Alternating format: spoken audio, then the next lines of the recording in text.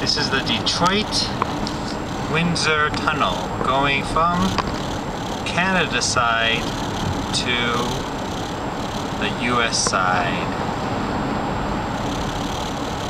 The tunnel was built in 1926 and it's 450 to get across. The bridge is also 450 to get across but it's $5 on rush hour. You get busy during the weekends because everybody's crossing over the border. This came from duty free um, store, no, no 13% Canadian tax. So, just going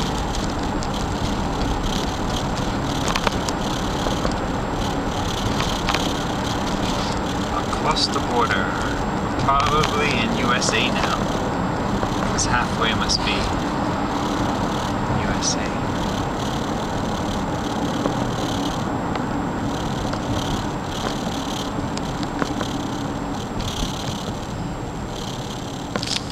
Okay, make a little turn here.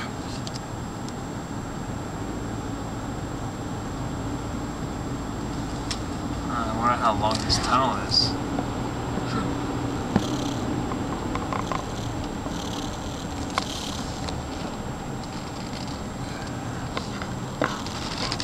We are out of the Vata.